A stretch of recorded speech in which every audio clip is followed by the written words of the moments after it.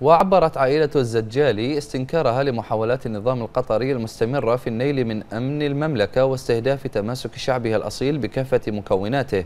ووقوفهم خلف قيادة عاهل البلاد المفدى حضرة صاحب الجلالة الملك حمد بن عيسى الخليفة حفظه الله ورعاه.